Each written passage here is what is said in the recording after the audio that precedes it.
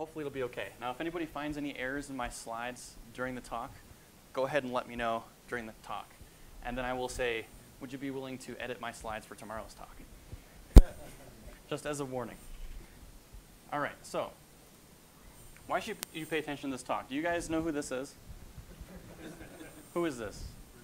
Bruce Lee. Okay, so what, what's Bruce Lee known for?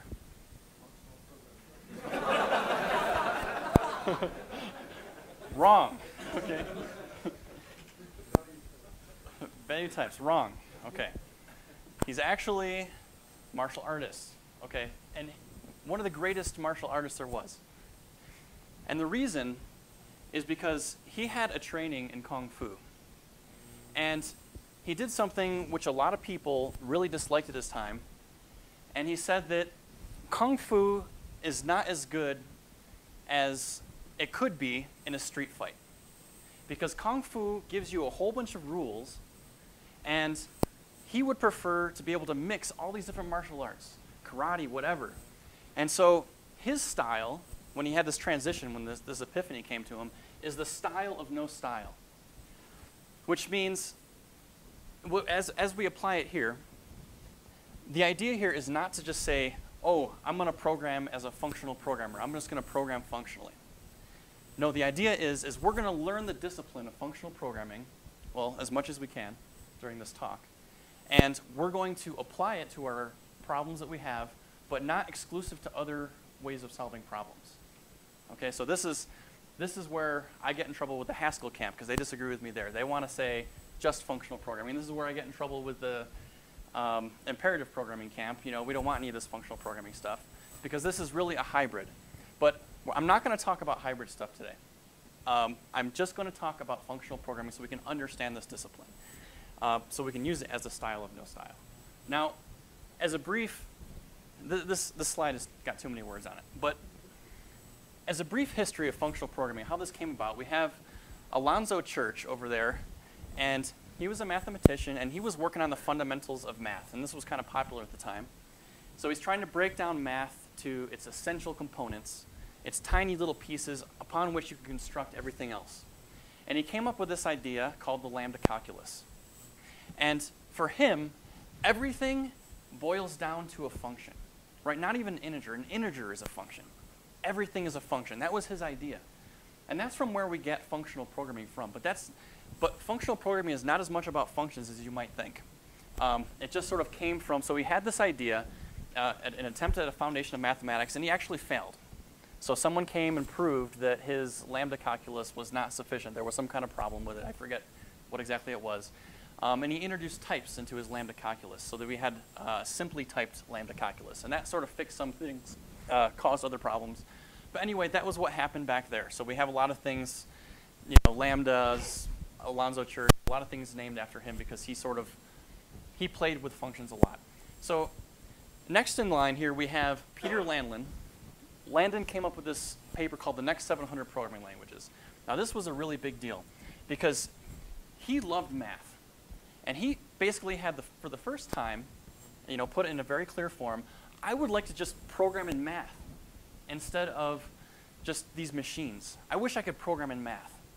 And he made this language called If You See What I Mean, and he postulated that the next 700 languages could be based on this one language. Let's just use math as our language, and instead of having all these domain-specific languages, SQL, whatever, let's just embed it all in this math language. Let's make this language powerful enough that you can build these concepts on top of it. So um, what he did is he took Alonzo Church's lambda calculus and he put some sugar on it so you have enough stuff that you can actually do programs with. And that was the essence of his language. And if you actually look at this old paper, 1966, and you look at his language, it will look almost identical to like modern day Haskell. So this was a huge influential, influential paper. And you know, if anybody's interested in reading it, it's not that hard to read, and it's, it's a beautiful paper. Now, next we have John Backus. Now, does anybody know what John Backus did, what he's really well known for? What's that? Okay, a few things, but I heard Fortran was one of them. That was a big deal. So he's giving his Turing Award lecture, and some people say this was his apology for creating Fortran. Because he came up with this idea of an algebra program. So he came up with his own programming language very strongly math-based. Um, there's not, not, it's not really used today, or anything like it is used today, but it's, it's based on composition of functions. So again, we have this idea of taking mathematical concepts and building a language out of it. And although his language wasn't really his key contribution, his big contribution in terms of functional programming is that he popularized this research. He made it a thing. Before this, it wasn't a thing. So now we then, you know, beyond that, we have ML and we have Haskell and all this kind of stuff. Um, but that's just sort of like a brief history. So we can see that it's very soundly based in mathematics. That's what functional programming is about. So here's my definition. Functional programming is math ap applied to programming. And in, in principally in these three areas. So one is in languages. So let's make a language based on what we commonly know to be as math. Okay? That's one thing that functional programming does. But languages doesn't just mean uh, you have to program in a functional language. Do you have to do you have to program in Haskell to be a functional programmer? Raise your hand if you think that's the case. Okay, we got one. So, so I, so I'll, rather than ask the inverse question, I'll just assume that everybody disagrees. um, because you can define, when you're writing your programs, you are defining a language for your users to write. Your interface is your language, which you're creating. so it isn't just limited. You can make your interface look like a language, a domain-specific embedded language, and it can be completely functional, and that's fine. Um, so another place that applies to is semantics. And we're going to talk a lot more about this later. So semantics, what does that mean? It means meaning. Semantics is the meaning of whatever your program happens to be. So like, I don't know how many of you were at John's talk, what he talked about, like int. You know, an int 3 has this meaning outside of the, the bits that it exists on your computer, right? It can be an actual thing, eh, mostly mentally, or an entity, if you want to talk the elements of programming language. You know, functional programming is a lot about that because we're trying to figure out the meaning of programs and we're trying to create programs based on the meaning of concepts. And then finally we get to style. There's a, a functional programming style and it's basically using mathematics to develop your programs. So I would argue we don't need Haskell to do that. We don't need Haskell to do all of these things. Um, and there's a lot of benefits, you, you know, because you can be Bruce Lee. All right. So this is my sale. If you guys don't get this sale, then you can go to sleep, check your Facebook account, whatever you want to do. Here's the effects of functional programming. The first one is simplification of complex domains. So if you come up with a mathematical representation of your project, what that means is you're getting rid of all the unnecessary details. Looking at it in its essence, getting rid of the non-essential details allows you to reason about it. Now, if we had huge, gigantic brains, we probably wouldn't need this. But because we're limited in our human capacity, it's very useful to get rid of these, uh, these things which are like details, right? Or even having a concise syn syntax for things. You know, sometimes you look at these template codes and you're just like, oh my goodness, this thing is just gigantic in terms of all these type names and all that kind of stuff. If you can distill that into its essential form, it's a lot easier to think about it and reason about it. The second one is you can get strong insights into your programs from mathematical study. So you might pick up a math paper, you know, written in the 40s, and it will have, you can apply it to your programs, right? So a good example of this was the rediscovery of monads in the Haskell world. So, you know, before, I don't know when it was discovered, somewhere around the late 90s, before that time period, functional programmers didn't really have a good answer as to how to do I.O. in a functional language, or how, what, what that means. And then someone discovered this in category theory. There's this concept called monads, and they were able to apply it. And so they were able to take the math and bridge it to programming.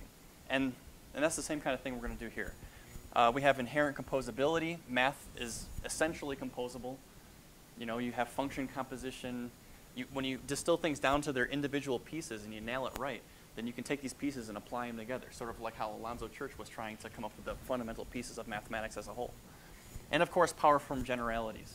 You know, when you talk about a group or you talk about um, a vector space, these things are, you, they don't have particular types.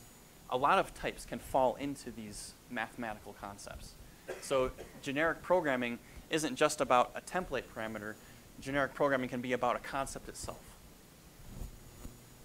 All right. So let's get into it. Purity. This is an absolutely essential uh, idea of functional programming, especially modern functional programming. So the definition of purity, uh, so there's a bunch of them online. This is the one I grabbed. Free from what vitiates, weakens, or pollutes. And up here, we have a function declaration. It takes in an int, returns an int. So I want to ask you, what would it take for this function to feel, in your mind, as, it's, as being pure? Okay, so people who, who already know the, the right answer to this, you know, be quiet. All right, so I saw a hand up over here. Well, yeah, but I already know the answer, so I can't say. All right. So, who has an idea? Just throw something out about what would, what, how could this function be pure in some way?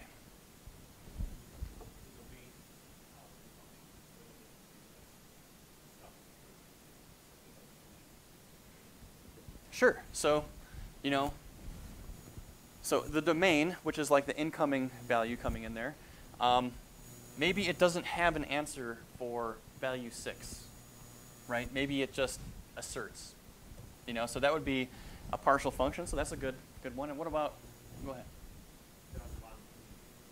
Does one thing. So what does that mean?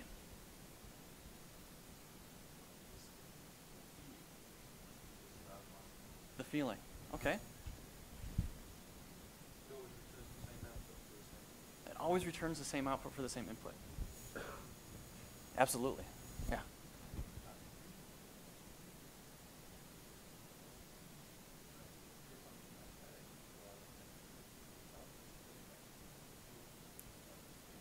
Sure. So there's the argument that this is fundamentally impure because it takes an int and it's not continuous. So the definition of purity that we're really looking for is first referential transparency, which means that if I give this thing a 5 and it returns a 6, if I pass it a 5 later on, it better return a 6. That's what referential transparency means.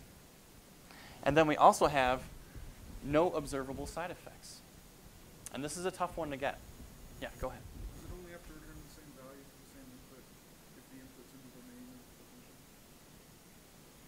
The question is, does it only have to return the same value for the same input if it's in the domain of the function? Okay, um, so the domain of this function is int.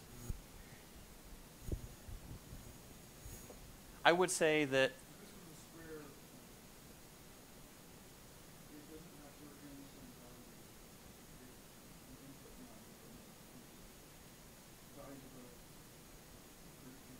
okay, okay, so, all right, let's say square, square root. All right, if you pass in negative 1, don't do that. That's undefined behavior. So that's just not even allowed. So we don't have to talk about it. Um, all right, so that's what purity is. Now we also have this idea of pure values.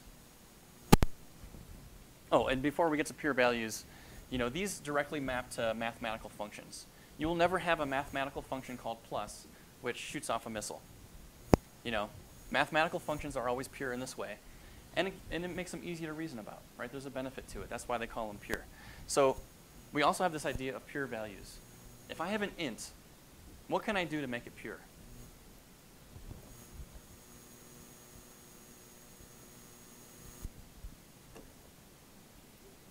Very good.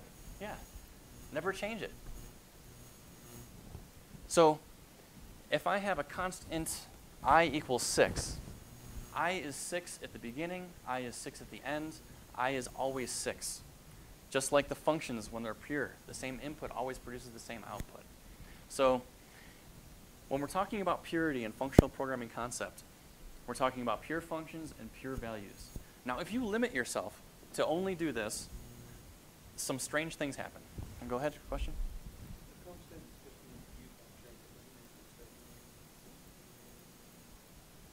So the comment that is that just because something is constant doesn't mean that it's not going to change. I, I wanted to comment that I don't think a constant variable is the same as a value, because a value existed before life began, it will exist after life is gone. So a value is, is not temporal.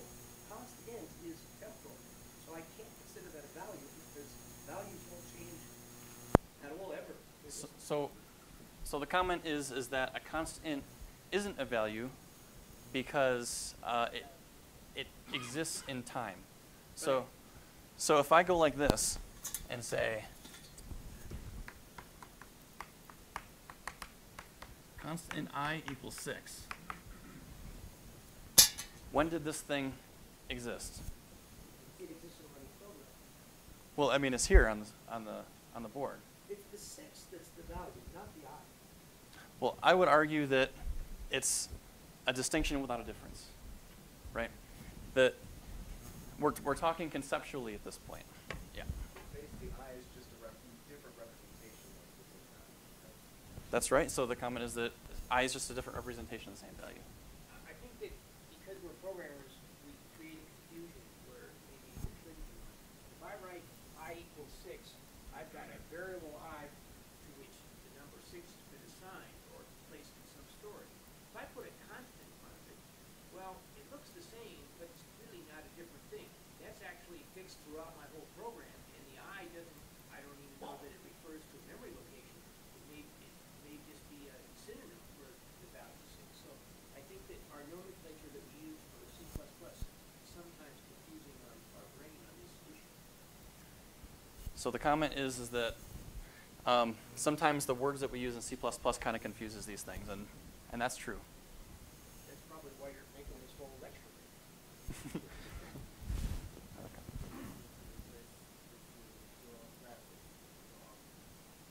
Okay, so the comment is that I should rephrase it to pure variables or pure objects.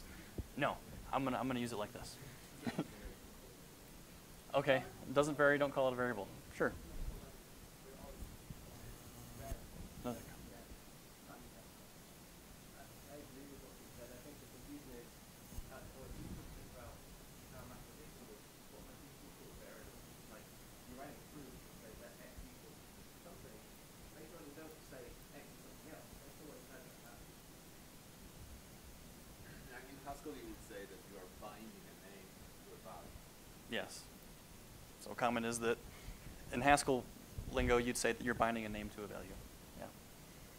All right. So if you, if you force yourself to only act pure in this way that we've just defined it, then let's take a look at what a pure list would look like. So here, we have this list. Everything is private here. Um, and we have these two constructors of the list. One creates an empty list. The other one creates a new list that consists of a front element and another list as the rest of it. Okay, so those are the, that's the only way that you can create a, list um, i- i- with this class here. Now we have some accessors. One says, you know, is this list empty? Another one which gets the front element of the list. And there's a precondition here, right? Because if it's empty and you ask what the front of the list is, that you don't do that, right? So this is a partial function, and a partial function means that not every input has a corresponding output. It's undefined for certain inputs, uh, but it's still pure. Now uh, the rest is, you know, the opposite of front. So if you have a list with at least one element, then front returns the front element, rest returns the list that comes after that. So there's nothing to say, let's modify the fifth element of this list. Right? There's, there's really no modification in this at all. All we have, we have the ability to construct lists and we have the ability to ask things about it. And we can construct lists from other lists, but we don't have anything which really modifies the list. So that's the, that's the sense that you have with these you know, pure structures here. And Bartosz is going to go more into that in, in his lecture. I'm not going to go too, into too much detail. Um, so here we have a function on our list called map. Now let's go through what this thing does. So map takes in a function that goes from t to u. So it'll take in a t and it'll return a u. And remember, we're always talking about pure functions here. It takes in a list of t's, and what it returns is a list of u's. So conceptually, it'll use that function and apply it to every single element of the list. Um, we check if it's empty. We return the empty list of type u. Otherwise, we call f on the front of the list, and we call map the, a recursive call on the rest of the list. So this is very typical in functional programming is you see this kind of re- recursion. But this is how you would develop something like a map. Question. Mm-hmm. So uh, the comment is that in the STL we have transform. Uh, it's similar. Would I say that it's not functional? I would say that it's not functional style. Because it involves uh, state.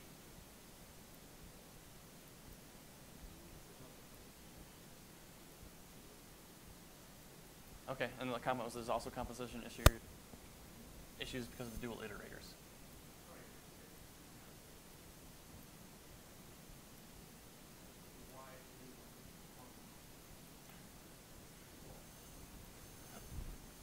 Someone want to answer this for me?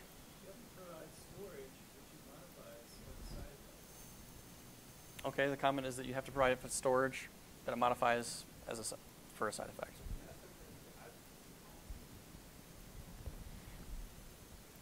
Okay, comment is, is the same thing as add to front.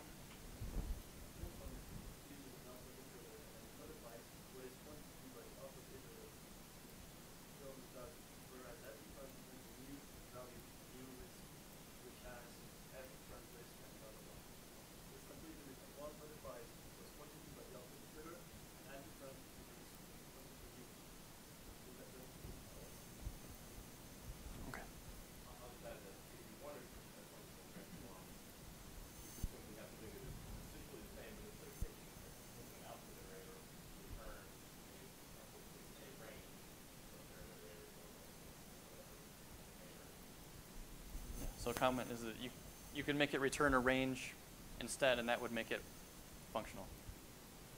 All right. Yes. That actually, to me, is very interesting because uh, now we have the C the and all that stuff. Uh, it's easy to imagine somebody saying, well, we should actually change the signature transform so it returns a whole new list. And then it would be actually a, a functional construct because there would no, not be any variables involved. And in fact, it sounds to me like it might even be efficient. And uh, that would kind of be a little bit of a game changer as far as the way we've been using the STL. Yep. So the comment is is that now that we have move semantics and things like that, then we can make things a lot more functional, and uh, it would be a game changer in terms of how we use the STL. So I'm going to avoid that that issue. Um, now, does anybody see anything wrong with this function? Like why you wouldn't want to use this or any kind of issue? This is kind of a esoteric thing. Okay, one comment is not tail recursive. This doesn't even matter in C++. There is no clear definition. But anything else? Like what about It's not guaranteed though.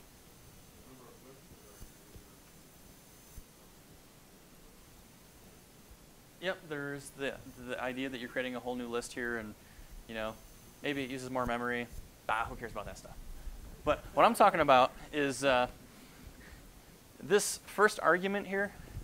You can't convert a lambda into that sucker. You have to specify the types. So when you're working with these kind of functions like this, using a, a function object, you kind of got to do a little bit of hackery. So here we're taking in just any type f, and then you use type name to get the result of. Yeah, go ahead.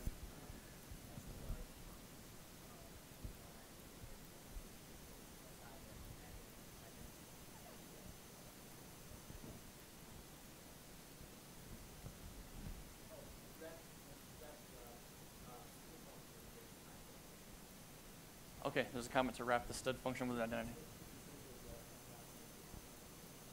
Okay, to disable the template argument deduction. Okay, so I don't know about that.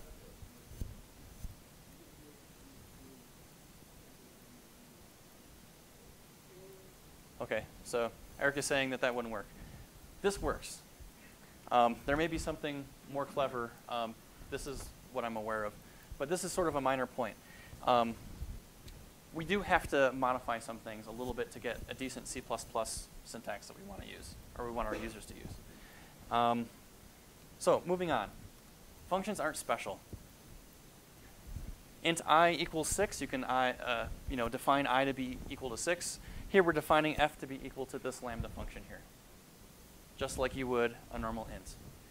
Here, g, we're calling foo of i, um, and we're assigning the result to g. So the idea is that foo returns a function. Over here, we, we call bar with f. So f is a function argument. One of the key things is that in functional programming is that there's not this special distinction between values and functions.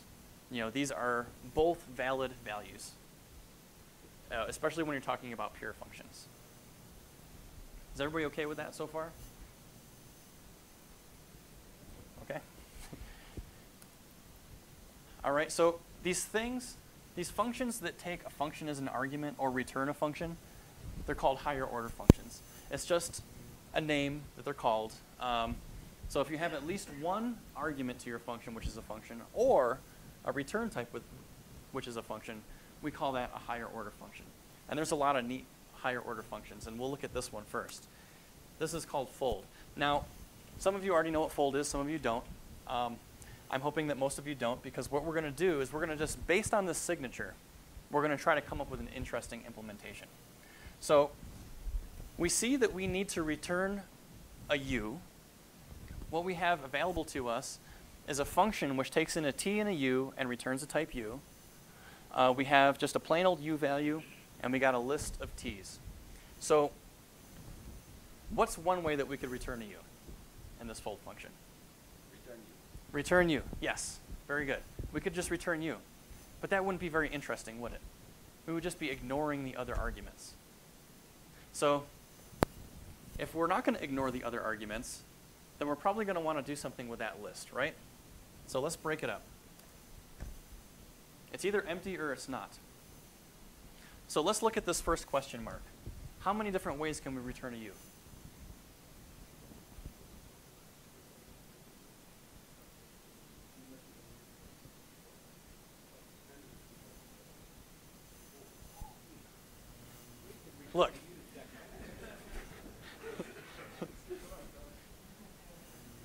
We know nothing about you.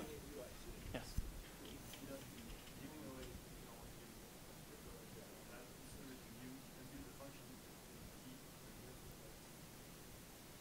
That's right. So, I mean, there's really not much we can do, right? In the is empty case, we got to return a u. All right? What about the other case? Well, we're not going to want to return u. Otherwise, it would be back to what we said before, and that's not really sufficient. So we're probably going to be calling this function f somehow. So let's do that. So what, what's the first argument to f got to be? I heard the front of the list. Yep.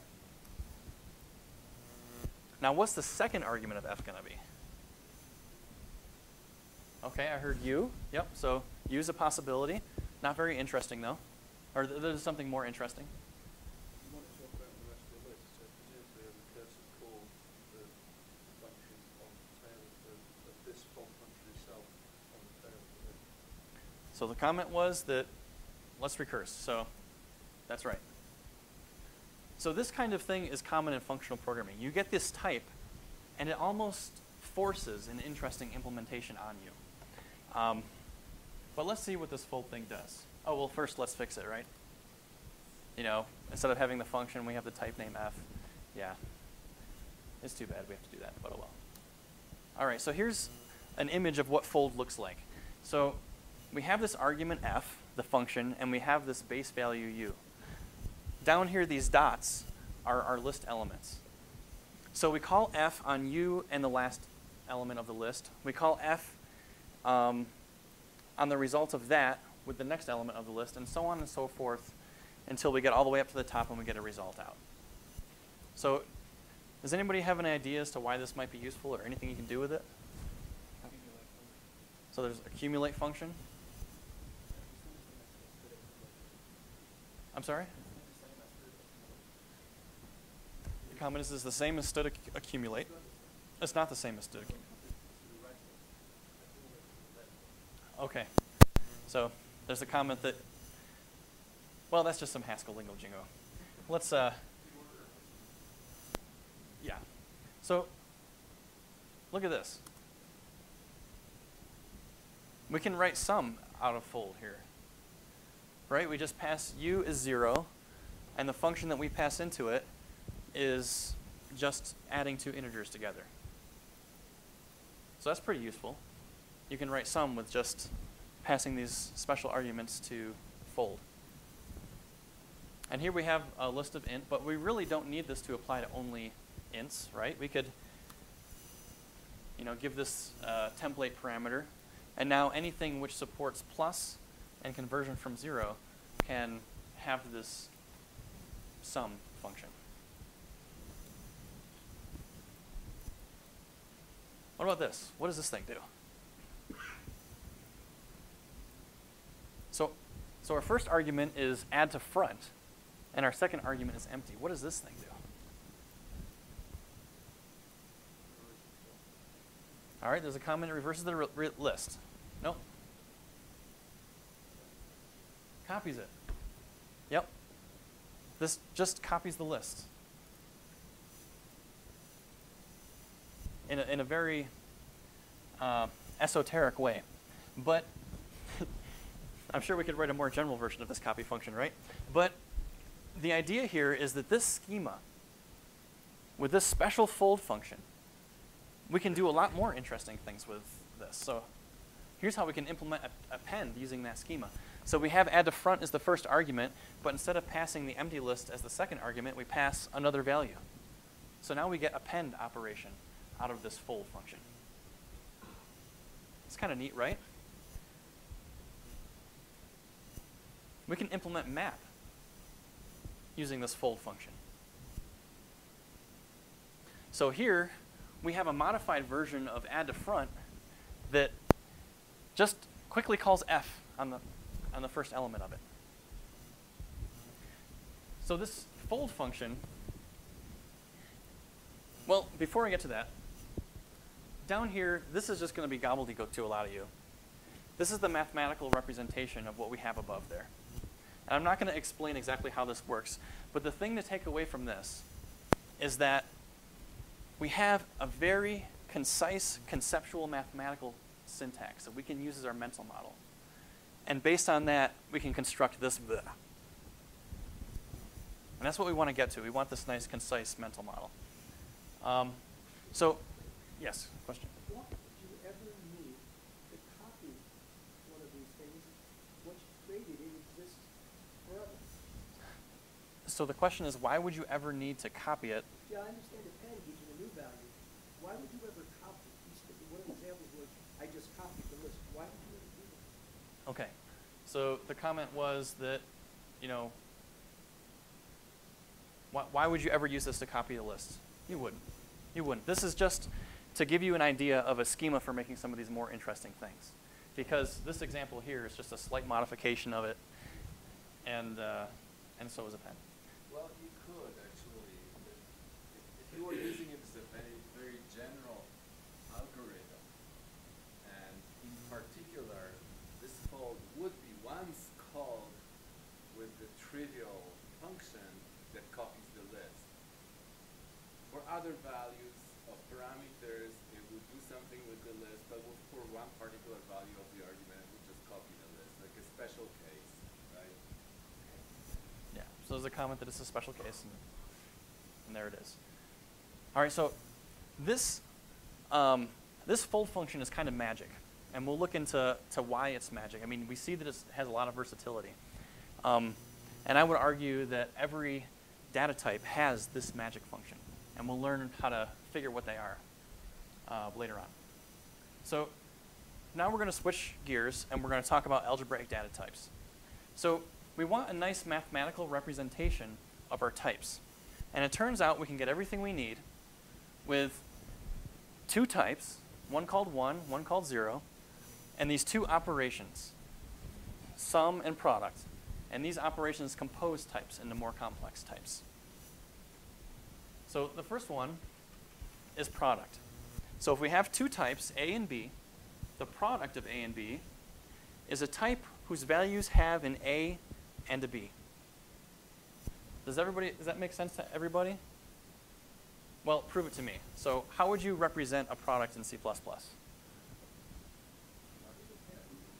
Okay, there's a comma struct with an A and a B in it. What else? I heard something else over here. A pair? Yep. So there's lots of different ways we can implement this in C++. Now, which one you choose is going to be dependent upon who's using your library. Semantically, they're the same. There's really no difference. Even performance-wise, I think these three are the same. Uh, but it may communicate something you want to communicate to a user. So uh, John Lakos is the, the master of that. That's out of my realm of expertise. So what about this? Is this an implementation of A product B? Does this represent that?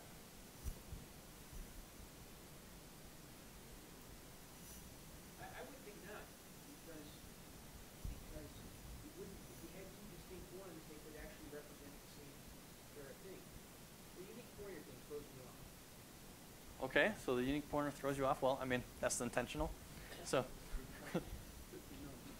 what's that? There was a comment it could be null. That's right. So these could be null. Now, what if we said that, um, you know, there's this invariant that these will never be null? Then, then does it represent AB like that?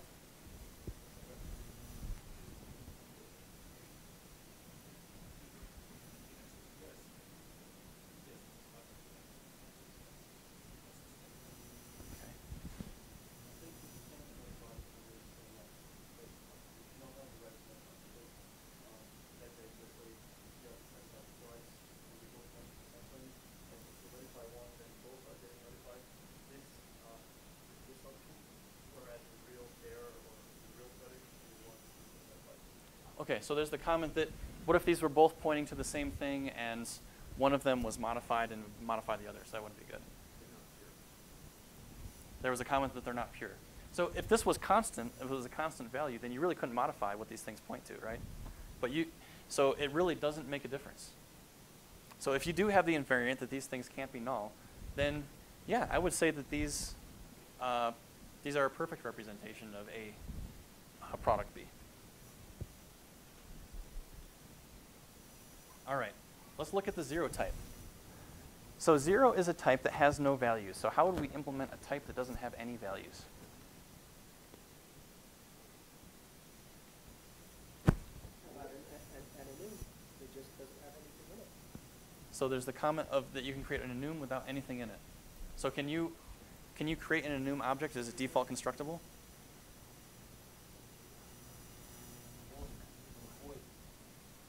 So, I- I heard void. Okay. Empty struct. So an empty struct, does it have a value? Yeah, yeah. It, you, you can make it. it. It must have a value. So how can we get one with without a value?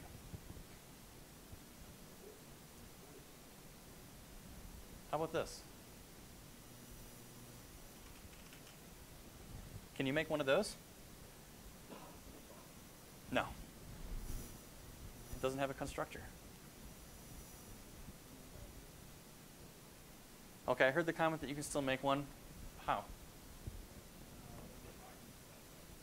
Okay, there's a comment, turn your bite into that stuff. That's, of course, not allowed.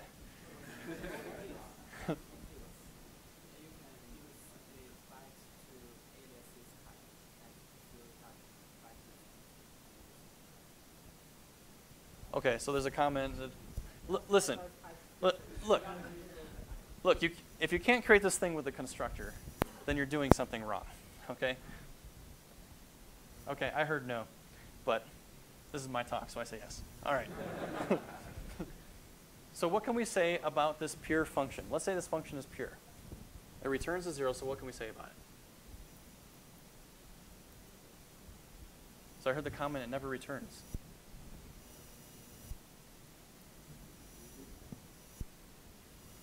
So I heard the comment that it is zero, which is interesting. So how, what, what kind of implementation can we put in here? So how, how could you implement a function which, which is pure but has this type? Okay, no reinterpret cast.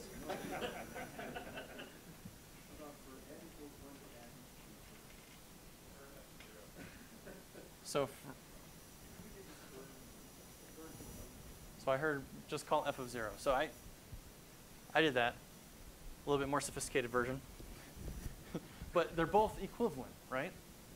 They both have the same meaning. So if this thing has a, a meaning in functional programming lingo, then what the heck would we say is the return value of f? I heard the right answer. So we just call it bottom. Okay? So every type has this value called bottom. It just means that a function which is undefined for that value returns bottom for that value. So we have consistency. Now, in some languages, like Agda, you can get rid of this requirement that bottom is part of every type. But you lose something essential, like Turing completeness. So this is how we denote a bottom type. So I'm not going to go into more detail of this because there's a lot to this. There's very interesting things that have to do with this, but we're just going to go, keep on going, um, and just know that every type can have this bottom value. It's, it's just necessary if you want to have sound mathematics. So now we have unit type. A unit type is a type with one value. So how would we implement that?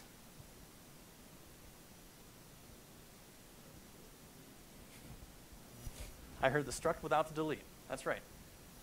This type has one value, right? Just call it with the default constructor.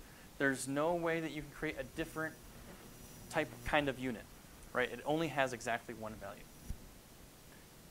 So now we're going to go on to the final uh, algebraic data type thing here. This is called sum or or. So a sum b is a type whose values are either a value of type A or a value of type B. So how do we implement this? I, speak up. Union. Okay. Very good. So we have union. But this isn't really enough information, right? Because I don't know if it's an A or a B. So how can we fix this? Throw in a bool. All right, so this is good enough. Now we have an implementation of A or B. Um, uh, let me see. What about this? Is this a good representation of A or B? I heard a yes.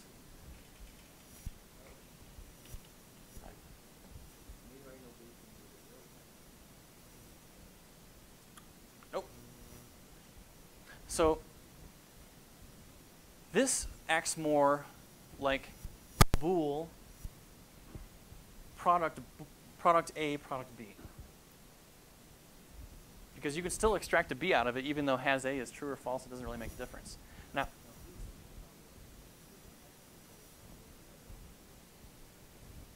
the comment is that this depends on your interface, and you're absolutely right. So is this a good representation of A or B? So I see some nodding. Yes. Right. We can set the A, we can set the B, but we have these nice post conditions here, um, which say that, does that say post? Ugh. Well, nobody gets credit for that because I'm the one who found it. So, yeah, those are supposed to be preconditions. Um, and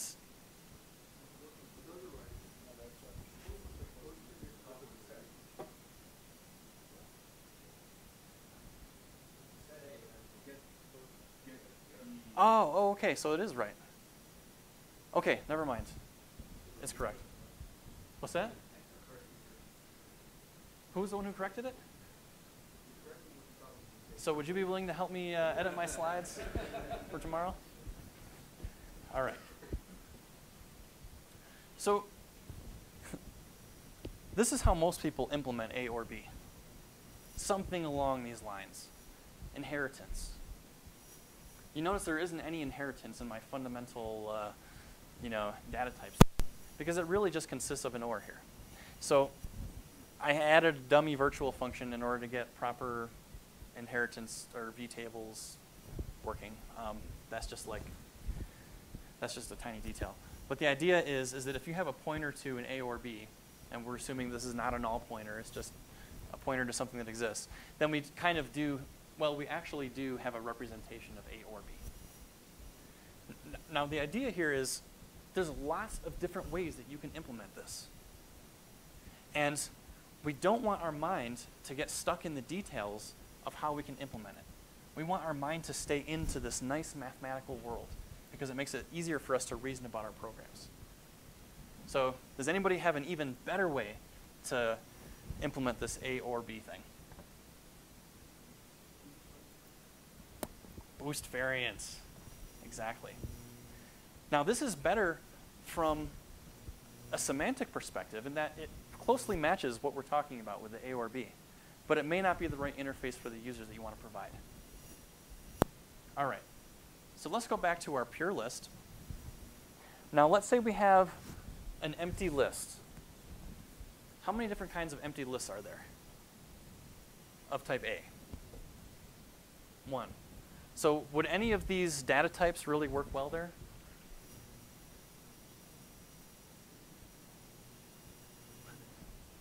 So I heard the unit, and that's absolutely right.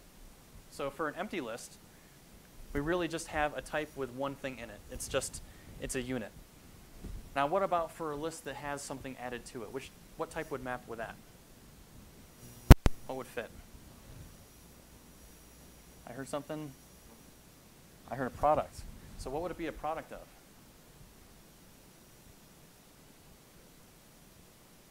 So these are our primitives up here.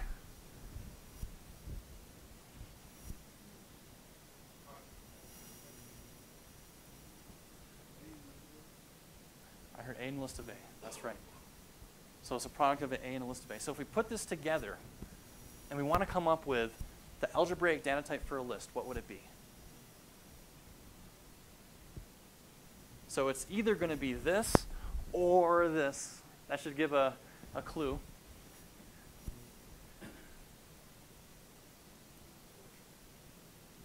One plus the second part. Right. Man, that is a very concise definition of a list, isn't it? That really captures it. So let's go back to the magic functions here. So here's how we would do the magic function of a unit. Let's say uh, we're defining this type u to be equal to the unit type, so it only has one element in it. And we have our magic function. It'll convert a u into something else. Well, there's really nothing that you can do to convert it into something else. So there has to be exactly one value. So we just return t. So with our magic function, the first parameter is always going to be the type which we are computing the magic function of. The second parameter and so on are going to be the uh, conversion functions to make it happen. So if we have our unit function here, it's just going to take in a single value that corresponds to the unit. Does that make sense? It, it might make more sense when I show some more of these. So let's look at the magic function for our product type here. So again, first type is a pair. Now if we have a pair of an A and a B, and we need to get some kind of t out of it, then you're going to need to pass in an extra function. These magic products always return some template type t. If we want to take consideration of all the possible values of pair, then it needs to take in an A and a B. Does that make sense? Raise your hand if it doesn't make sense. So then it must make sense to everybody. Oh, I, I guess I don't follow what you're, what is, what is this? Let me see what the function does. Yeah, I don't get what Okay, okay, that's fine. We're- going to get to, to why you would care about these magic functions. So here's a magic sum. So again, we always return some type. We take in our value, this is our sum in this case, and these two things, these parameters, need to convert it into this somehow. Now, it wouldn't make sense for this to take in a function which, which like the product case, had an A and a B. Because with a sum type, you never get an A or a B, or, or an A and a B. You only get one or the other. So, so in this implementation, if it's an A, we return f of A of it. If it's a B, return f of B of it. There's no other way to do this. Comment. You look at the function as a magic function for the list that you wrote earlier. Why didn't you pass a special function for the case of the list? Okay, so the comment was, in our list, uh, our fold function, why didn't we pass in something where the list was, to handle for when the list was empty? And the answer to that is that we actually did, right? This u value handles the case when the list is empty. And then, because we have our product, we take in our function, or I mean our, our sum, we have our function, uh, no. Because we have our product, we take in this function. So I'm not doing an exact mapping of how you would create a list, uh, or, or a fold for a magic function for a list, right? I could sit out and I could write all the rules to create your magic function. But I'm just postulating here that a magic function exists for every algebraic data type. And what it will do, it will be sufficient to completely deconstruct it and reconstruct it with any kind of modifications you can want. And actually, it's the essence of this data type. So if you look at Church's original lambda calculus, this is how he would, uh, he, he, wouldn't, he would say that this is equivalent to that function. All right, so let's, let's move away from that. The functional approach. In one sense, the functional approach, you take this math and you use it to create an implementation out of it. So you can think in this algebraic data type space. And there's a lot more different kinds of math that you can use with this functional programming thing. You start out in your math, and from that you derive your implementation. That's one thing that you can do. Uh, it makes it easier to reason about. Uh, you get a good understanding, uh, and so on. Another thing that you can do is you can take your implementation and you can try to figure out what are the fundamental mathematical things behind it. And what this allows you to do is it will cut out all the inessentials and it'll give you ideas for refactoring like, oh crap, like this state is, doesn't really make any sense. The algebraic data type is, has this extra crap in there which doesn't need to be there. Um, and it really makes this kind of ugliness stand out. So these are like two different ways that you can use this functional programming idea. Um, all right, so moving ahead, let's talk about functions. Okay, so this, this A arrow B represents a type that takes in values of type A and returns values of type B. So this is just common notation for the types of functions. And the key thing here is that functions can be data structures too. Right? If we extend our algebraic data type with now this function symbol, we can come up with data structures that use functions. And these can be very strange and, and interesting. So what is this?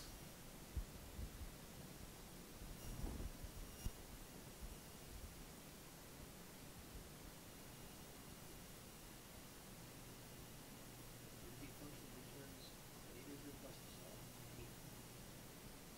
A pair including a pair with an integer and function sum. So the question is, does it, I read it in English. so the question is, is this a constructor? No, this is just saying that, you know, foo is, is this algebraic data type.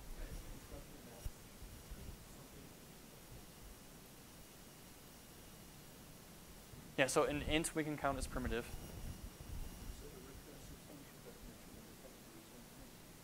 So a recursive function definition of a function that returns an So a recursive function definition of a function that returns an int. Well, this is just a type, right? And let's try to see if we can make this type in C++. How about this? Is this going to work?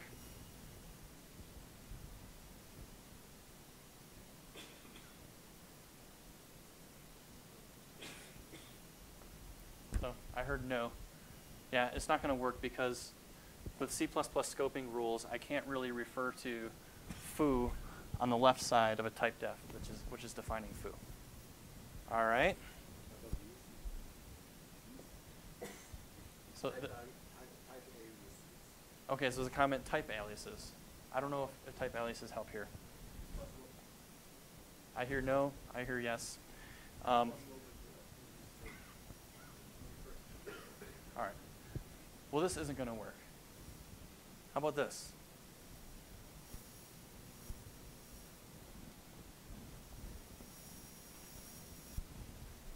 So we just have a structure. We know that we can refer to a structure inside of it.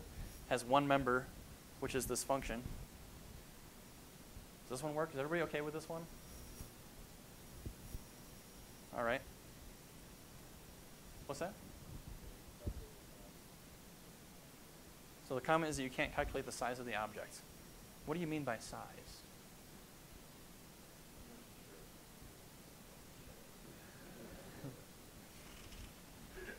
All right. So we can make this a little bit nicer by going like this. So here we're inheriting from standard function, and we're using perfect forwarding. So this object will actually act like a function. Does that make sense? Does everybody buy that? It's still a very, very strange thing. All right. Now, one other simplification we can make is that a function which takes in a unit is really just a function that takes in nothing, right? Because the unit can only have one type. So we'll just go ahead and remove that unit argument. And now we have a type in our C++ that implements this strange algebraic data type. But we still don't really know what it is. Let's see if we can uh, make a value of this type.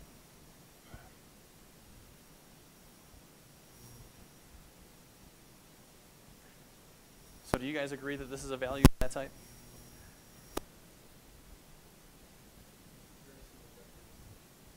What's that? I'm missing a capture. Um, well, if foo is global, then I don't necessarily need a capture. Yeah. All right.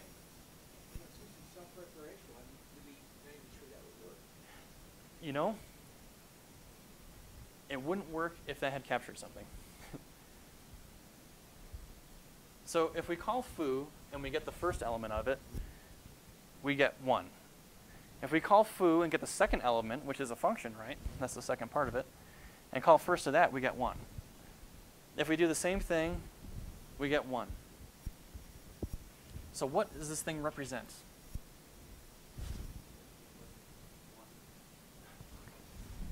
So, so the comment is that it's an infinite list of ones. So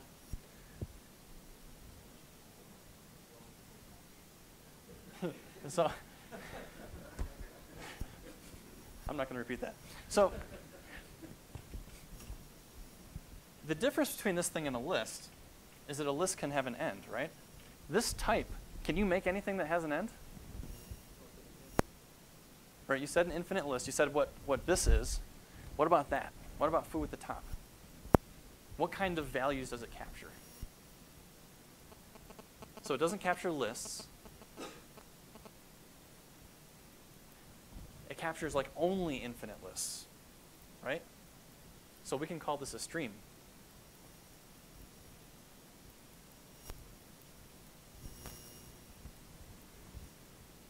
And we can call that thing always one.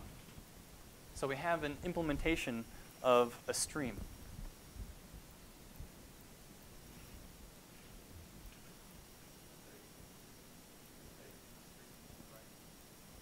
Shouldn't it say int stream on the right? Ah! All right. You're going to help me with my slides tomorrow. Thanks. All right. Uh, right. So here's another uh, int stream that we can construct.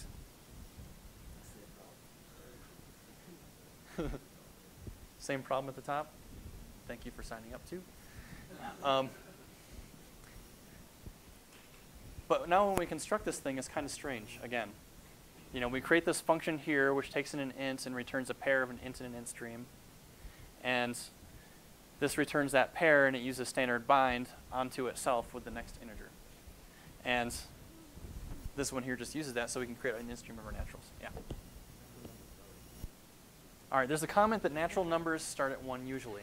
Well, I'm glad it's only usually, not always, because then I'm correct, technically. Um, so this is not that much code, right?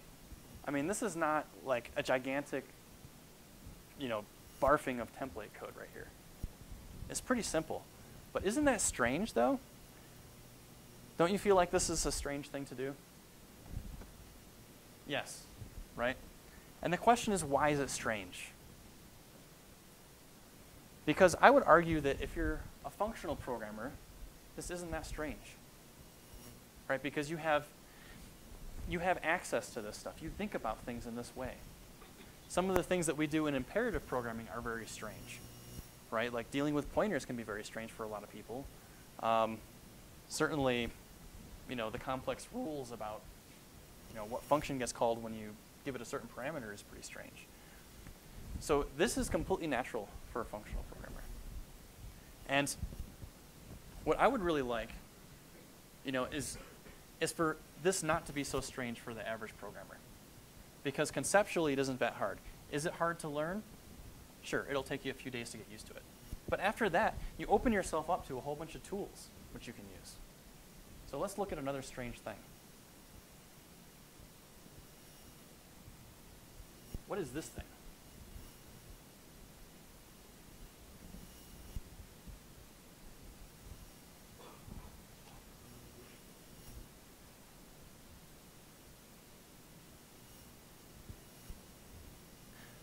All right, so it's a function, right? What does it take in? Ints. What does it return?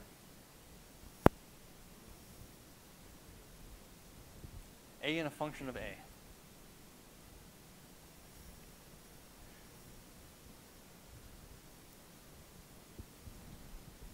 So you have this infinite choice of an int. You pick one, and you get some kind of value and another infinite choice based on int. This thing goes on and on to infinity. Now imagine a user interface where you present the user with a bunch of things, and they choose one of these things, and they get a whole new selection of things. So this is a fractal. Very simply put,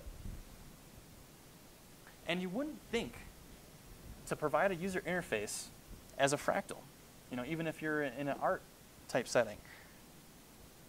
But if you're functionally programming, this isn't that far off right? This is, and we could implement this in C++. You know, you can follow some simple rules and get it implemented. So, all right. Um, is functional programming only for doing strange things? No. All right. Uh, you can do a lot of strange things with them, and it's very fun. Uh, but there's also a lot of practical applications. So here's a practical app. Go ahead, comment. So the question is, is this how you would model nested menus? Yeah, absolutely. Especially nested menus that can be infinitely deep. yeah. and, and believe it or not, I've used this to make an infinitely deep nested menu.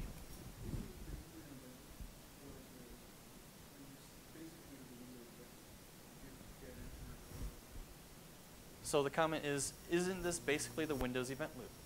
I, I don't know what the Windows event loop is like, but it could be this could be the semantics behind the Windows event loop. Yeah, sure. Functional reactive programming. Yeah. So here's a more practical application. So there was a, uh, a library in the week. The first uh, BoostCon that I went to, uh, they had this library in a week, and the idea was to create a new stream library. And this is I don't remember if this is exactly the semantics that uh, we came up with, but I think this is pretty close. So the idea was that you have a source which emits these values of type A. You have these transformers which can convert a source into a different kind of source. And then finally, you have a sink, which will take all this thing and do I/O operations. I'm not talking about this. This is just a magic placeholder for doing something. Um, and uh, I, I, I don't want to go into more detail about this, except just to point out that when we did the semantics like this, it implied some fundamental functions that you would have. So here's one. You could take two sources and create a new source that just pairs their values together. If the first source expires, then the whole thing expires. Here we have two transformers. If you have a transformer, this transforms your source. Wait, before I get there, does everybody know what I'm talking about when I'm talking about sources and sinks? So imagine that a user is like typing in data. You know, that source can be like a source of characters. You can convert that source of characters into a source of ints. You know, you do some parsing, and you, now you have a source of ints. Then you want to actually do something with it. Maybe your sink just takes those ints and prints them out or saves them to a file or something like that. So this is what the source transformer sink thing is.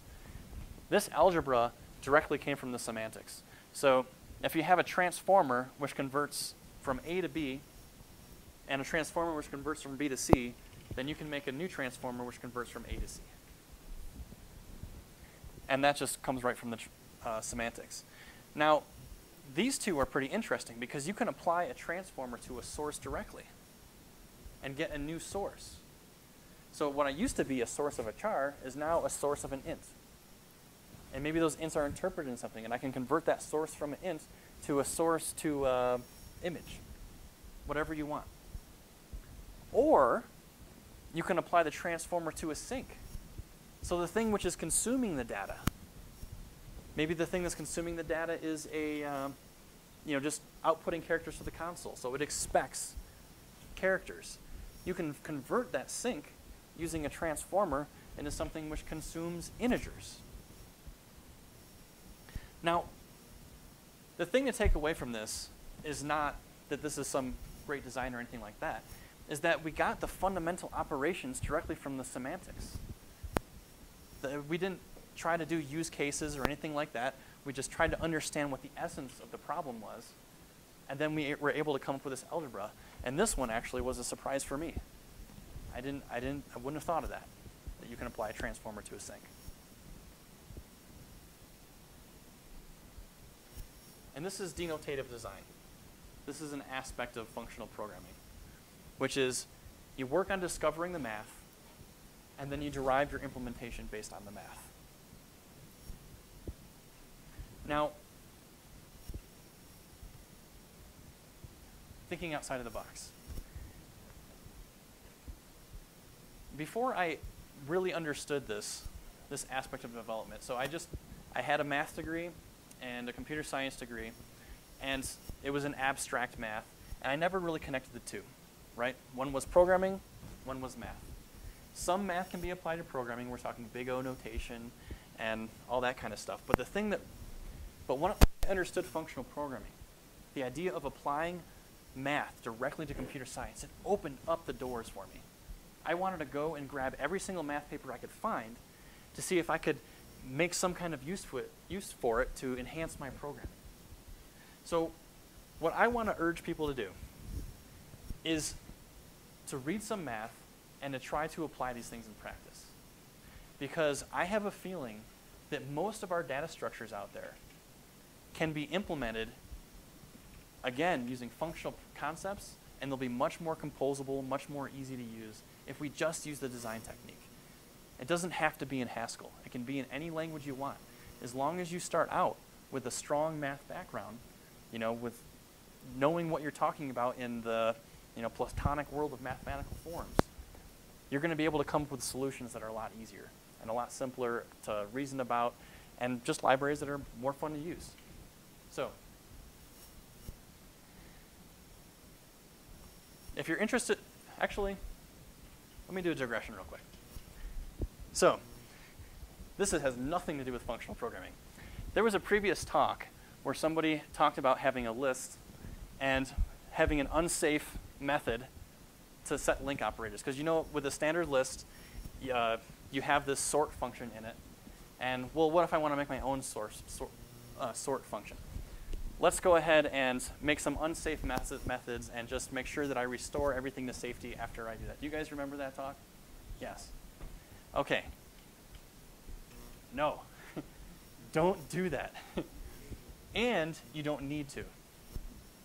So what if we do this instead? You extract fragments, which gives you this other data structure, which is more basic than a list, which is just a bunch of you know nodes floating around in a body. You suck it out, then you can do your set link operations. You're not breaking any invariants here, and then you put it back in. And I talked to uh, a very important person, and he approved this method as being a superior method. Did I? Sorry. I thought I grabbed it off of the thing, but my bad. It's a different Sean. Would the real Sean please stand up? All right. If you want to learn more about this, here are some pointers. Uh, the first is, uh, is an old book called Denotational Semantics, and it basically showed how you can go from computer programs to just pure math, and it gives a mapping for that. Uh, there's a talk that I gave on the intellectual ascent to Agda last year, and this is uh, so we, we talked about algebraic data types. You can take the math to very, very extreme levels of abstraction. And that's what we do there. Um, there's the Journal of Functional Programming. I read that thing all the time. You know, whenever I can grab my hands on it, that's what I'm reading because you can learn about these new mathematical forms and how they apply. Um, there was modern functional programming in C++. That was in 2010. That is a mapping of algebraic data types and more other things into C++. It's kind of like a recipe book. And it goes all the way to like type classes in Haskell and how to implement those in C++. There's also the Haskell community. Now, I'm, I'm a little bit hesitant be, uh, to talk about the Haskell community because I've gotten so much pushback with these kinds of ideas uh, in C++ in general from that community. But there's a wealth of information. If you learn Haskell, you're going to learn the math really quickly. Yes, go ahead. There's a recommendation of the blog, Lambda the Ultimate, and I agree that's a good one. And uh, there's a book called Category Theory for Computing Science. This category theory is a very important set of mathematical constructs that can be applied to computer science, and this is a good book for it. And that is the end of my talk. Does anybody have any questions at this point?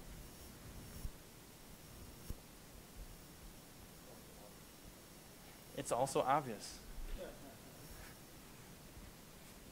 I tried hard to make this not hard, but you know, it's new concepts. Okay, so the question was, what about monads in C++? Um, so I didn't cover monads, just like I didn't cover a whole lot of mathematical concepts. But uh, practically speaking, uh, we could really use a nice domain-specific embedded language for monads in C++. That would be awesome. You want to do that for us? Oh, you'd be the perfect person to do it too. What about performance? That, I'm so glad you asked that question. So, performance is when you come up with all your math and all this wonderful stuff. When you need to actually write the code that it corresponds to, that's when you become an engineer. And that's when performance actually matters. And, and you need to consider, yeah, I want this to map my, match my mathematical model, but it might not look exactly like it because I care a lot about performance. I want to make it very performant.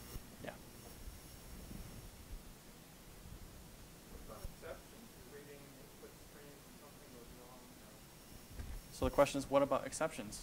Um, so with, if you're using the stream mechanism like we're talking about, then an exceptional event would be encoded like an optional value or something to that effect. Yeah, unless you can expand your semantics to be able to handle exceptions as well. And I don't know how to do that off the top of my head.